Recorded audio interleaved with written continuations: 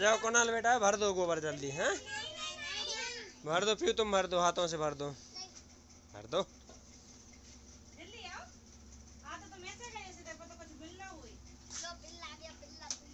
लो, प्रसाद ले लो।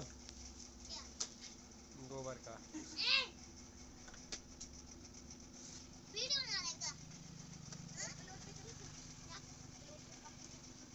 नहीं, फालतू नहीं जा, प्लॉट पे गर्मी है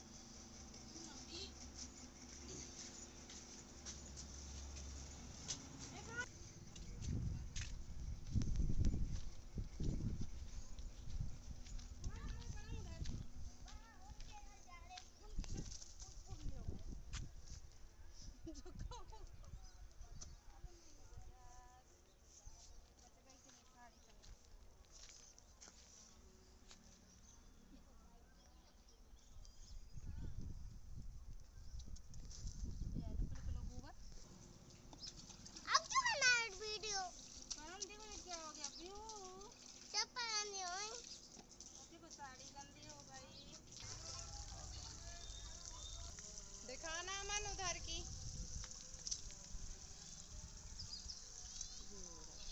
शाम का टाइम और शाम के बज चुके हैं साढ़े सात। और आज हमारे यहाँ बन रही है दाल और पालक।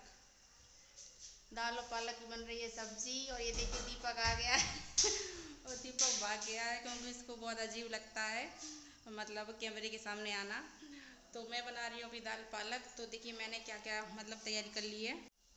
तो देखिए ये मैंने कुकर में उबाल ली है दाल। मूंग की दाल बना रही हूँ। और ये देखिए इसमें थोड़ी सी पालक काटी है मैंने। और तड़के के लिए ये देखिए लहसुन और हरी मिर्च और ये जीरा और हींग भी डलेगी थोड़ी सी तो ये देखिए मैंने दाल उबाल ली है। दाल में मैंने एक सीटी लगवाई थी, क्योंकि मूंग की दाल क्या है, एक सीटी में ही उबल जाती है। तो ये देखिए मूंग की दाल उबल चुकी है और अब मैं इसमें मतलब जब इसमें तड़का लगाऊँगी ना, तब मैं इसमें डालूँगी पालक। तो ये देखिए मैंने तड़के के लिए इसमें घी ले लिया है, क्योंकि मूंग की दाल घी में ही हमेशा अच्छी लगती है। तो ये मतलब मैंने थोड़ा सा घी ले लिया है। तो ये देखिए, मैंने थोड़ी सी हींग भी ले ली है, क्योंकि मूंग की दाल में हींग डलती है। तो ये मैंने देखिए, थोड़ी सी हींग ली है। ये देखिए, जीरा भी डाल दिया है। और ये देखिए, डाल दिए है मैंने लहसुन और हरी मिर्च। इसको थोड़ा सा सेक लेंगे।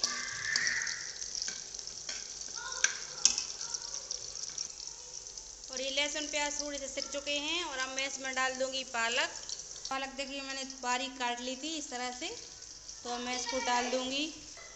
तो देखिए मैंने पालक डाल दी है और अब मैं इसमें थोड़ा सा डालूँगी नमक। और अब इसको अच्छे से मिला लेंगे। थी ना हाँ हाँ। तो सब्ज़ी में बहुत ज़्यादा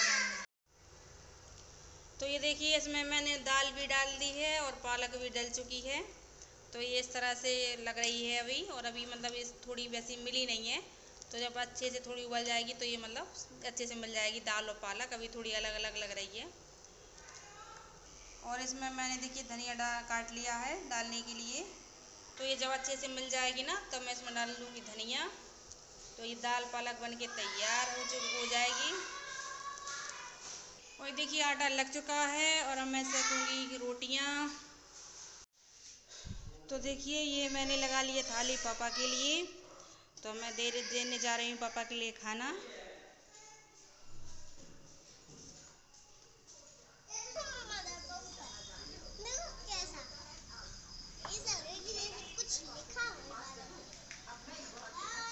देखिए, यहाँ पर रखे हुए हैं आलू। तो ये आलू लगे थे हमारे प्लॉट पर। तो ये मतलब आज ही खोदे होंगे। तो ये देखिए, अभी इनसे मिट्टी बहुत सारी लगी है और ये गीले भी हैं अभी। और इतने छोटे छोटे आलू हैं कि मतलब इनका यूज़ मतलब सब्ज़ी बन सकती है, क्योंकि यदि बड़े बड़े आलू होते तो चिप्स बन जाती। लेकिन इतने छोटे आलू की तो चिप्स भी नहीं बन सकती हैं। फिर सब्ज़ी बनाकर ही खाना पड़ेगा इन आलूओं को। देखिए, यहाँ पर गरम गरम रोटियाँ बन रही हैं और साथ में मतलब मैंने पापा को भी दे दिया है खाना और पीयू के पापा भी खा रहे हैं क्योंकि गरम गरम खाना अच्छा लगता है। और सब्ज़ी भी गरम थी और रोटियाँ भी गरम है तो मैंने सोचा कि मतलब सब लोग खाते जाएँगे और फिर मतलब थोड़ी सी मतलब फिर हम दोनों ही रह जाएँगे, ननद और भाभी। और अभी तो बच्चों को भी नहीं खिलाया है तो वो भी हैं तो फिर हम मतलब जब पापा और वो निपटे जा रहे हैं, फिर उसके बाद रोटियाँ भी थोड़ी सी रह गई हैं, देखिए, दो या तीन। तो फिर उसके बाद बस हम लोग खाएँगे दोनों।